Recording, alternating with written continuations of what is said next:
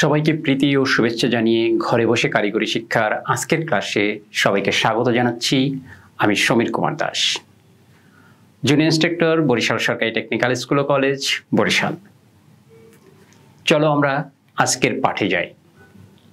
আমরা আজকের যে বিষয়টি নিয়ে আলোচনা করব সেটি হচ্ছে নবম শ্রেণির ওয়েল্ডিং অ্যান্ড ফেব্রিকেশন ট্রেডের নবম অধ্যায়ের প্রথম পত্র, অর্থাৎ ওয়েল্ডিং প্রতীক সমূহ। আমরা প্রথমেই এক নজরে দেখে নেই আমাদের শিখন ফলটি কী রয়েছে। আমরা আজকের এই ক্লাসটি সম্পন্ন করার পরে যে বিষয়গুলো সম্পর্কে অবগত হব বা জানতে পারব, সেটি হচ্ছে ওয়েল্ডিং সিম্বল কি তা বলতে পারবে। বিভিন্ন প্রকার ওয়েল্ডিং প্রতীক অঙ্কন করে ওইগুলির ওয়েল্ডিং নাম শনাক্ত করতে পারবে। এমসিজি দিয়ে কি বোঝানো হয়? তা বর্ণনা করতে পারবে। একেবারেই সিম্পল মানে একেবারেই সিম্পল আমরা তিনটা শিখন ফল নিয়ে কথা বলব।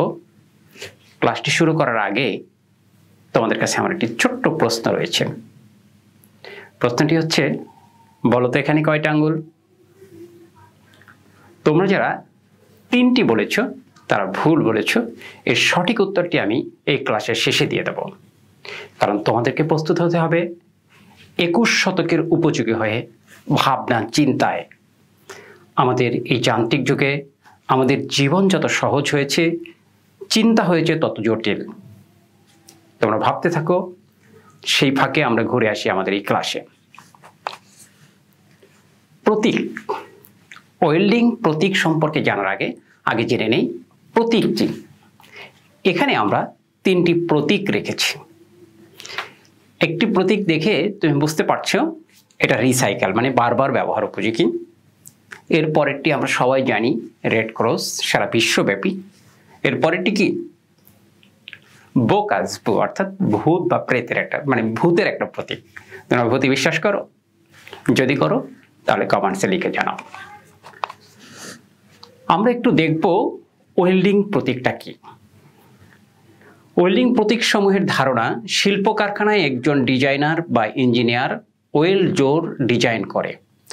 জোর সংক্রান্ত কতকগুলো তথ্য, যেমন জবটি কোন শ্রেণির ওয়েল্ডিং জোর হবে, জবের কোন স্থানে জোড়াটি হবে ইত্যাদি বিষয়গুলো সিম্বল বা প্রতীকের মাধ্যমে ড্রয়িং এ দেখায়।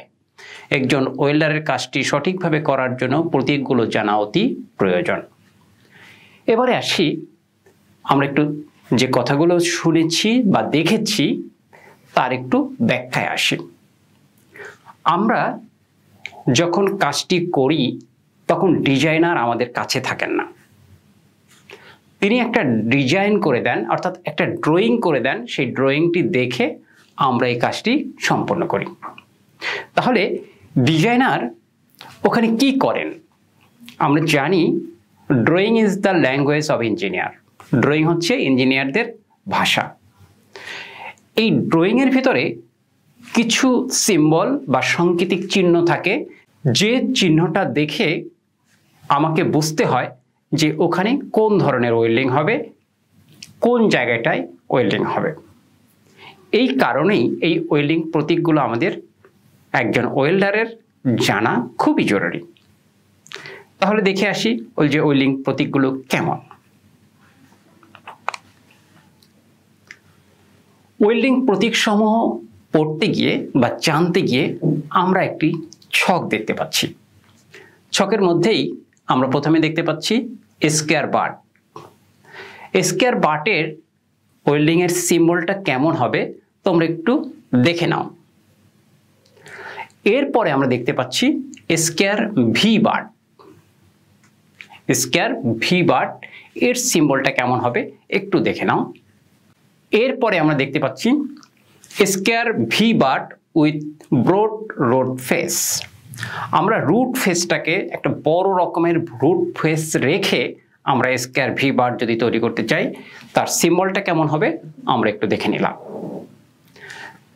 অনুরূপভাবে আমাদের এখানে বেশ কিছু সিম্বল দেয়া রয়েছে। কিন্তু আমরা এই মুহূর্তে যে সিম্বলগুলো একেবারেই না জানলে নয় সেই সিম্বলগুলো একটু দেখব। আমরা আরও কিছু সিম্বল দেখতে পাচ্ছি, যেগুলো তোমাদের বইয়ে রয়েছে। তোমরা একটু দেখে নিও। আমাদের প্রচলিত, বহুল প্রচলিত ওয়েল্ডিং সিম্বলদের ভিতরে রয়েছে ফিলেট ওয়েল্ডের একটা সিম্বল। আমরা প্রথমেই একটি ফিলেট ওয়েল্ডের সিম্বল দেখতে পাচ্ছি, কিন্তু এভাবে দেখলেই চলবে না। তোমাকে বেশ ভালোভাবে শিখে নিতে হবে ফিলেট ওয়েল্ডের সিম্বলটি। তাই তোমাদেরকে একটু আলাদা করে দেখানোর চেষ্টা করেছি আমি। আমি এখানে তোমাদেরকে অল্প কয়েকটি, গুটি কয়েক ওয়েল্ডিং সিম্বল সম্পর্কে একটু ধারণা দিতে চাই। হ্যাঁ শুধুই ধারণা বাদ বাকিটা তুমি শিখে নিবে। স্পট ওয়েল্ডিং এর সিম্বলটা কেমন? একটি গোল বৃত্ত থাকলে আমরা বুঝব এই জায়গাটায় স্পট ওয়েল্ডিং হবে। আমি আবার বলছি স্পট ওয়েল্ডিং কোনো জায়গায় যদি ওয়েল্ডিংয়ের সিম্বল হিসাবে কোথাও গোল একটি বৃত্ত থাকে, তা আমরা, তাহলে আমরা ধরে নেব যে এখানে স্পট ওয়েল্ডিং হবে। সিম ওয়েল্ডিং অত্যন্ত জনপ্রিয় একটি ওয়েল্ডিং পদ্ধতি। এর সিম্বলটা কেমন? বৃত্তের মাঝে দুটি সমান সমান। বৃত্তের মাঝে দুটি সমান চিহ্ন থাকলে আমরা বুঝব যে এখানে সিম ওয়েল্ডিং করতে হবে। স্কেয়ার জয়েন্ট, এটিও খুব ব্যাপক হারে ব্যবহৃত হয়। এই সিম্বলটি তোমাদের জানা খুবই জরুরি। স্কেয়ার জয়েন্ট কেমন? সমান সমান নয়, দুটি উলম্বিক রেখা। দুটি উলম্বিক রেখা, এভাবে দুটি এঁকে দিলে তাহলে আমরা সেটাকে বলব square joint. Single V single V যদি হয়, তার প্রতীক হচ্ছে শুধু ভি এর মতো। শুধু ভি এর মতো, এই প্রতীকটা থাকলে আমরা একে বুঝব যেখানে একটা সিঙ্গেল ভি জয়েন্ট হবে। সবচেয়ে বেশি ব্যবহৃত এবং সবচেয়ে বেশি গুরুত্বপূর্ণ যেটি, সেটি জেনে রাখা দরকার, সেটি হচ্ছে ফিলেট ওয়েল্ড সেটি হচ্ছে কি? ফিলেট ওয়েল্ড এই ফিলেট ওয়েলের চিহ্নটি আমাদের খুব দারুণভাবে জেনে রাখতে হবে। অর্থাৎ আমরা দেখতে পাচ্ছি যে একটি ত্রিভুজ আকৃতির সিম্বল বা একটি ত্রিভুজ আকৃতির চিহ্ন থাকলে আমরা ধরে নেব এখানে ফিলেট ওয়েল্ড হবে। ফিলেট ওয়েলটা এই প্রকৌশল জগতে অত্যন্ত গুরুত্বপূর্ণ একটি ওয়েল্ড আমাদের প্রায় প্রশ্ন আসে যে একটি ফিলেট ওয়েল্ডের চিত্র অঙ্কন করে উহার বিভিন্ন অংশ চিহ্নিত করো। আমরা অবশ্য এর আগেও তোমাদের সাথে এই বিষয়ে ক্লাস করেছি, তোমরা এটি জানো।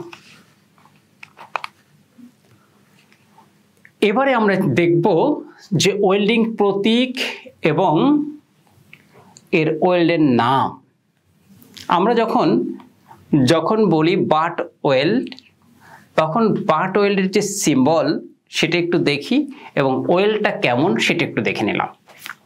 এভাবে square butt weld single V butt weld single bevel butt weld single V butt weld with broad root face, single bevel butt weld with broad root face. তাহলে আমরা দেখে নিলাম বহুল প্রচলিত ওয়েল্ডিং এর প্রতীক এবং ওয়েল্ডের নাম। আমরা প্রতীকগুলো দেখলাম এবং ওয়েল্ডের নামগুলো দেখলাম। অডিট হওয়ার কোনো কারণ নেই ভয় পাওয়ার কোনো কারণ নেই। এটি খুব সিম্পল একটা বিষয় তোমাদের বইয়ে এটি রয়েছে। কত অধ্যায়? নবম অধ্যায়। ট্রেড ওয়ানের নবম অধ্যায় তোমরা এটি পাবে।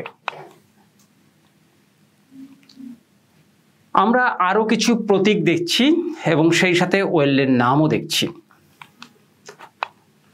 আমরা চলে যাব এম দিয়ে কি বোঝায়?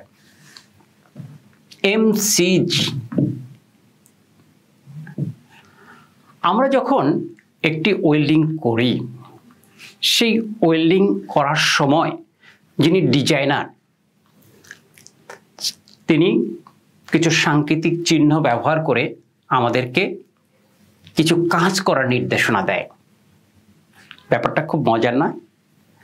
হ্যাঁ তিনি কিছু সাংকেতিক চিহ্ন ব্যবহার করে কিছু কাজ করার নির্দেশনা দেয়। এই কাজটা কি হবে?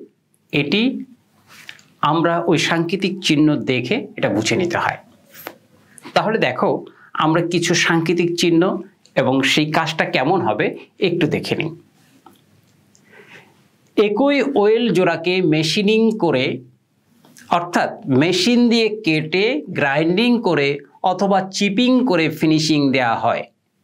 এই তিন ধরনের কাজের তিনটি প্রতীক রয়েছে দ্যাট মিনস মেশিনিং, চিপিং এবং গ্রাইন্ডিং কোনো কাজকে আমরা ফিনিশিং দেওয়ার জন্য বা কোনো জবকে ফিনিশিং দেওয়ার জন্য তিনটি কাজ করতে হয়।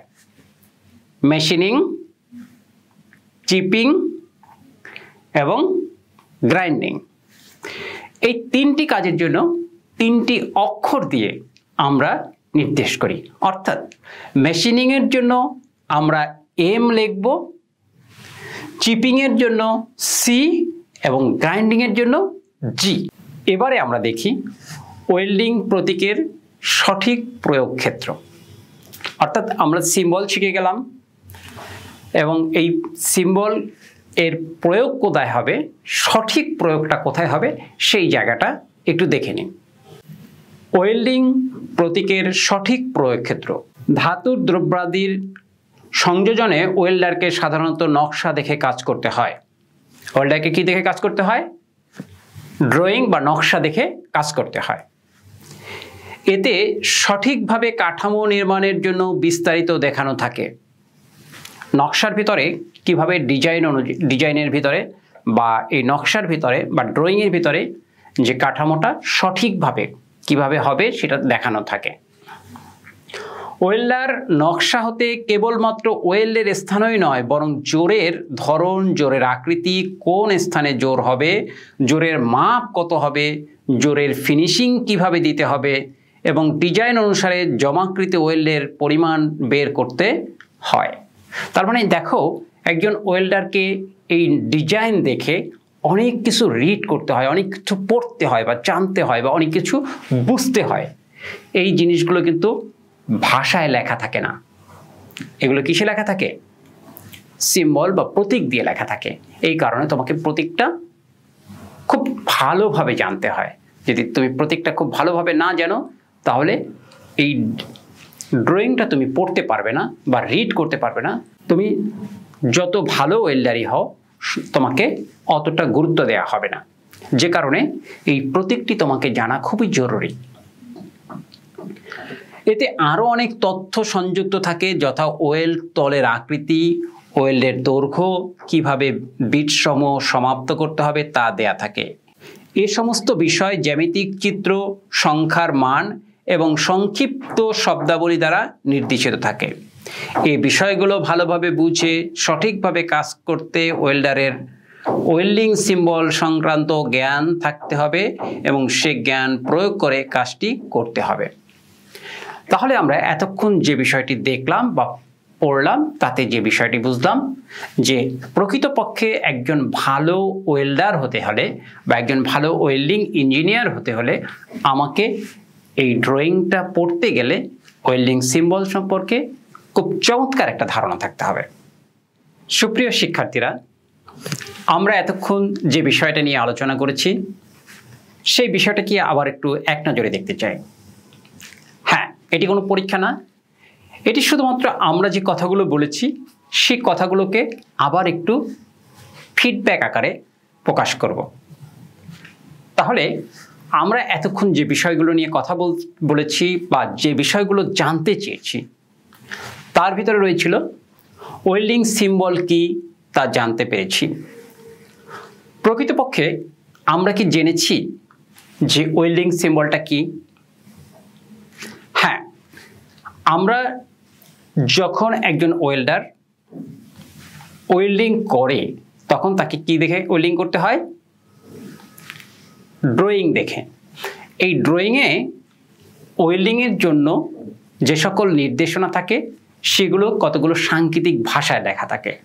এই সাংকেতিক চিহ্নগুলো বা সাংকেতিক ভাষাগুলোই হচ্ছে ওয়েল্ডিং সিম্বল একজন ওয়েল্ডারকে ভালো ওয়েল্ডারকে যদি ওয়েল্ডিং সম্পর্কে দক্ষ হতে হয়, তাহলে ওয়েল্ডিংয়ের পাশাপাশি তাকে এই ওয়েল্ডিং সিম্বল সম্পর্কেও ভালো জ্ঞান থাকা দরকার।